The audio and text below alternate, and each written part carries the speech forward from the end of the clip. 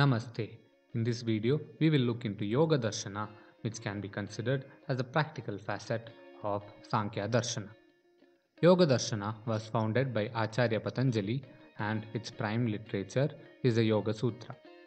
Before diving into this darshana, let us briefly correlate yoga and Sankhya darshanas because in Bhagavad Gita it has been told that a scholar would never differentiate between these two. Both are Vaidika darshanas and also consider the Panchavimshati Tattva in the process of creation.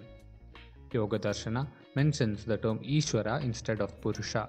Yoga Darshana explains an eight tier system of practice for the attainment of moksha, whereas Sankhya Darshana states that the knowledge of Panchavimshati Tattva helps in liberation. Finally, Sankhya gives more importance to jnana or knowledge, whereas Yoga Darshana gives importance to abhyasa or practice. The word yoga is derived from yujidhatu, which means to unite. This term indicates the union of mind and the body, and in subtlety, the mind and the soul. Yoga is defined as yogas chitta vritti nirodha. That is, yoga is that which does the cessation of chitta vritti. So, what is chitta vritti? Chitta vrittis are mental activities. They are of five types which prevent the union of mind and soul or moksha. Chittavrittis are pramana or true knowledge, viparyaya or wrong knowledge, vikalpa or imagination, nidra or sleep, which is the knowledge of nothingness, and finally smriti or memory. It is retaining knowledge from previous experiences. Nirodha or elimination of this chittavritti is attained by abhyasa or yogic practice and vairagya or detachment. The whole of yoga abhyasa is made of eight tires or the Ashtanga Yoga.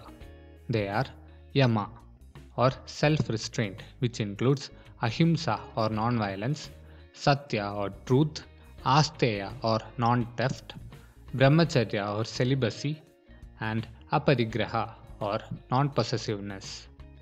Second one is Niyama, which refers to self purification.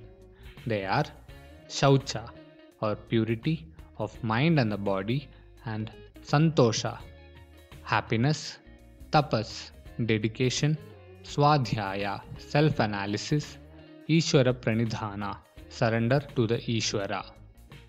The third one is Asana, which is the practice of postures. Pranayama or practice of control of breath.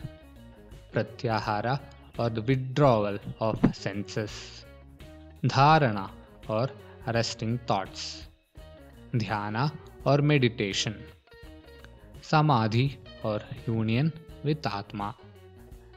Yama to asana are bahirangas or external tires and pratyahara to samadhi are antarangas or internal tires, where pranayama acts as a bridge between the both.